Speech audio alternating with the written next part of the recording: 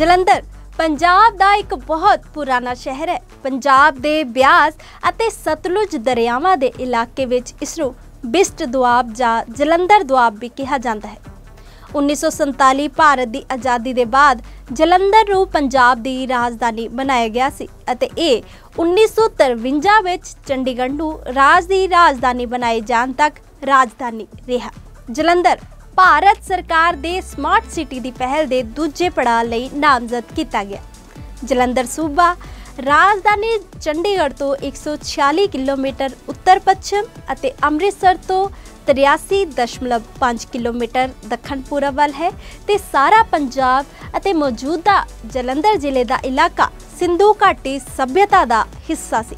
ਰਿਗਵੈਦਿਕ ਕਾਲ ਦੇ ਦੌਰਾਨ ਜਲੰਧਰ ਸ਼ਹਿਰ ਇੱਕ ਦਾਨਵ ਰਾਜੇ ਜਲੰਧਰ, ਜੋ ਕਿ ਭਗਵਾਨ ਸ਼ਿਵ ਦਾ ਪੁੱਤਰ ਸੀ, ਉਸ ਦੁਆਰਾ ਵਸਾਇਆ ਹੋਇਆ ਮੰਨਿਆ ਜਾਂਦਾ ਹੈ। ਜਲੰਧਰ ਨਾਂ ਦੇ ਦਾਨਵ ਨੇ ਇਹ ਸ਼ਹਿਰ ਬਸਾ ਕੇ ਇਸ ਨੂੰ ਆਪਣੀ ਰਾਜਧਾਨੀ ਬਣਾਇਆ ਸੀ। ਜਲੰਧਰ ਸ਼ਹਿਰ ਵਿੱਚ 800 ਤੋਂ ਵੱਧ ਹਸਪਤਾਲ ਨੇ, ਜੋ ਕਿ ਇਹ ਏਸ਼ੀਆ ਵਿੱਚ ਪ੍ਰਤੀ ਵਿਅਕਤੀ ਹਸਪਤਾਲਾਂ ਦੀ ਸਭ ਤੋਂ ਵੱਧ ਸੰਖਿਆ ਵਾਲਾ ਸ਼ਹਿਰ ਬਣਾਉਂਦਾ ਹੈ। ਜਲੰਧਰ ਵਿੱਚ 9 ਸਤੰਬਰ 2020 ਨੂੰ ਤਿੰਨ ਨਵੇਂ ਸਿਹਤ ਕੇਂਦਰ ਸਥਾਪਿਤ ਕੀਤੇ ਗਏ ਜਲੰਧਰ, ਫਰਨੀਚਰ ਅਤੇ ਕੱਚ ਵਰਕੀਆਂ ਵਸਤੂਆਂ ਨੂੰ ਗੁਆਂਢੀ ਸ਼ਹਿਰਾਂ ਨੂੰ ਨਿਰਯਾਤ ਕਰਦਾ ਹੈ ਅਤੇ ਖੇਡ ਉਪਕਰਨਾਂ ਦੇ ਨਿਰਮਾਣ ਲਈ, ਹੱਥਾਂ ਦੇ ਸੰਦਾਂ ਦੇ ਨਿਰਮਾਣ ਲਈ ਵੀ ਇੱਕ ਕੇਂਦਰ ਹੈ। ਜਲੰਧਰ, ਆਪਣੇ ਚਮੜਾ ਉਦਯੋਗ ਜੁੱਤੀਆਂ ਲਈ ਚਮੜਾ, ਚਮੜੇ ਦੀਆਂ ਵਸਤੂਆਂ ਦਿੱਲੀ, ਆਗਰਾ, ਕਾਨਪੁਰ ਅਤੇ ਹੋਰ ਭਾਰਤੀ ਸ਼ਹਿਰਾਂ ਵਿੱਚ ਸਥਿਤ ਨਿਰਯਾਤ ਘਰਾਂ ਨੂੰ ਵੇਚੇ ਜਾਣ ਵਾਲੇ ਫਰਨੀਚਰ ਲਈ ਵੀ ਮਸ਼ਹੂਰ ਹੈ। ਹੱਥਾਂ ਦੇ ਸੰਦਾਂ ਦੇ ਨਾਲ ਇਹ ਅਮਰੀਕਾ ਅਤੇ ਯੂਰਪ ਵਿੱਚ ਕਾਮਿਆਂ ਦੁਆਰਾ ਵਰਤੇ ਜਾ ਰਹੇ ਉਦਯੋਗਿਕ ਟੂਲ ਬੈਗਾਂ ਦਾ ਇੱਕ ਪ੍ਰਮੁੱਖ ਉਤਪਾਦਨ ਕੇਂਦਰ ਹੈ। ਜਲੰਧਰ ਦੇ ਕੁਝ ਵਧੀਆ ਸਟਰੀਟ ਫੂਡ, ਜਿਨ੍ਹਾਂ ਨੂੰ ਤੁਸੀਂ ਖਾਣਾ ਜ਼ਰੂਰ ਪਸੰਦ ਕਰੋਗੇ, ਜਿਵੇਂ ਗੋਲਗੱਪੇ, ਛੋਲੇ ਭਟੂਰੇ, ਮੱਖਣ ਚਿਕਨ, ਸਮੋਸੇ, ਪੂਰੀ ਛੋਲੇ, ਕਾਠੀ ਰੋਲ, ਆਲੂ ਟਿੱਕੀ, ਕਚੋਰੀ, ਜਲੇਬੀ, ਪਕੌੜਾ, ਤੰਦੂਰੀ ਚਿਕਨ ਤੇ ਲੱਸੀ। ਜਲੰਧਰ ਵਿੱਚ ਕਿਹੜੀ ਮਠਾਈ ਹੈ ਜੋ ਜ਼ਰੂਰ ਖਾਣੀ ਚਾਹੀਦੀ ਹੈ ਹਾਂ ਜਲੇਬੀ ਜਲੰਧਰ ਵਿੱਚ ਜਾ ਕੇ ਜਲੇਬੀ ਨਾ ਖਾਦੀ ਤਾਂ ਕੀ ਖਾਦਾ ਜਲੰਧਰ ਆਪਣੇ ਖੇਡ ਉਦਯੋਗ ਲਈ ਵੀ ਮਸ਼ਹੂਰ ਹੈ ਅਤੇ ਜਲੰਧਰ ਵਿੱਚ ਬੜੇ ਸਾਜੋ ਸਮਾਨ ਦੀ ਵਰਤੋਂ ਕਈ ਅੰਤਰਰਾਸ਼ਟਰੀ ਖੇਡ ਖੇਡਾਂ ਵਿੱਚ ਕੀਤੀ ਜਾਂਦੀ ਹੈ ਜਿਸ ਵਿੱਚ 올림픽 ਰਾਸ਼ਟਰਮੰਡਲ ਖੇਡਾਂ ਏਸ਼ੀਅਨ ਖੇਡਾਂ ਆਦਿ ਸ਼ਾਮਲ ਨੇ ਇਹ ਹੱਥਾਂ ਦੇ ਸੰਦਾਂ ਦੇ ਨਿਰਮਾਣ ਲਈ ਵੀ ਇੱਕ ਤਰ੍ਹਾਂ ਦਾ ਕੇਂਦਰ ਹੈ। ਗੁਰੂ ਗੋਬਿੰਦ ਸਿੰਘ ਸਟੇਡੀਅਮ ਜਲੰਧਰ ਦਾ ਇੱਕ ਬਹੁਮੰਤਵੀ ਸਟੇਡੀਅਮ ਹੈ। ਮੁੱਖ ਕਬੱਡੀ ਮੈਚ ਆਮ ਤੌਰ ਤੇ ਗੁਰੂ ਗੋਬਿੰਦ ਸਿੰਘ ਸਟੇਡੀਅਮ ਵਿੱਚ ਹੁੰਦੇ ਨੇ।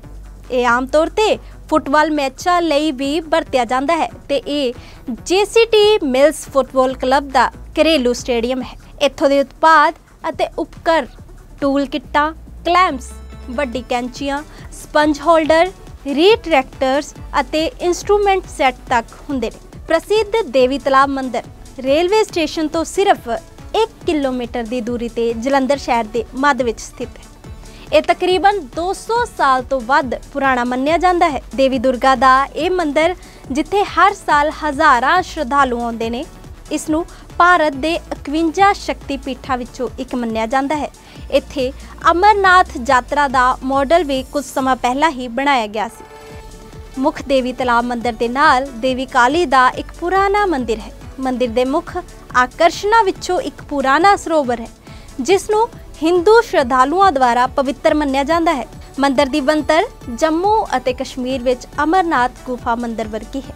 ਜਲੰਧਰ ਦੇ ਨੇੜੇ ਸਥਿਤ ਗੁਰਦੁਆਰਾ ਸ਼ਹੀਦਾ ਪਿੰਡ ਤੱਲਣ ਦੀ ਮਾਨਤਾ ਦੇਸ਼ਾਂ ਵਿਦੇਸ਼ਾਂ ਵਿੱਚ ਹੈ। ਇਹ ਗੁਰਦੁਆਰਾ ਸ਼ਹੀਦ ਸੰਤ ਬਾਬਾ ਨਿਹਾਲ ਸਿੰਘ ਅਤੇ ਪਰਮ ਸੰਤ ਬਾਬਾ ਹਰਨਾਮ ਸਿੰਘ ਜੀ ਦੇ ਪਵਿੱਤਰ ਯਾਦ ਵਿੱਚ ਉਸਾਰਿਆ ਗਿਆ ਹੈ। ਇਸ ਗੁਰਦੁਆਰੇ ਨੂੰ ਸ਼ਹੀਦਾਂ ਦੀ ਜਗ੍ਹਾ ਦੇ ਨਾਂ ਨਾਲ ਜਾਣਿਆ ਜਾਂਦਾ ਹੈ। ਦੁਆਬੇ ਦੇ ਇਲਾਕੇ ਵਿੱਚ ਇਹ ਗੁਰਦੁਆਰਾ ਜਹਾਜ਼ਾਂ ਵਾਲਾ ਗੁਰਦੁਆਰਾ ਦੇ ਨਾਂ ਨਾਲ ਪ੍ਰਚਲਿਤ ਹੈ।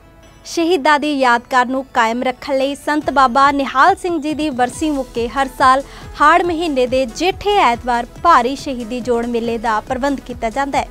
ਹੋਰ ਧਾਰਮਿਕ ਸਥਾਨ, ਗੁਰਦੁਆਰਾ ਥੜਾ ਸਾਹਿਬ, ਬਾਬਾ ਖਾਕੀ ਸ਼ਾ ਗੁਰਦੁਆਰਾ ਸਿੰਘ ਸਭਾ, ਇਮਾਮ ਨਾਸਿਰ ਸਮਾਧੀ ਅਤੇ ਜੰਮੂ ਮਸਜਿਦ, ਸ਼ਿਵ ਮੰਦਿਰ, ਸ਼ਿਵ ਬੜੀ ਮੰਦਿਰ, ਤੁਲਸੀ ਮੰਦਿਰ, ਗੁਰਦੁਆਰਾ 6ਵੀਂ ਪਾਤਸ਼ਾਹੀ, ਗੁਰਦੁਆਰਾ 9ਵੀਂ ਪਾਤਸ਼ਾਹੀ ਜਲੰਧਰ ਵਿੱਚ ਦੇਖਣ ਲਈ ਸ਼ਾਨਦਾਰ ਥਾਂ ਵੰਡਰਲੈਂਡ ਥੀਮ ਪਾਰਕ, ਜੰਗੇ ਆਜ਼ਾਦੀ ਮੈਮੋਰੀਅਲ ਹੈ। ਸੈਲਾਨੀ ਦੂਰੋਂ ਦਰਾਡੇ ਤੋਂ ਆ ਕੇ ਇਹ ਨਜ਼ਾਰੇ ਜ਼ਰੂਰ ਲੈਂਦੇ ਨੇ।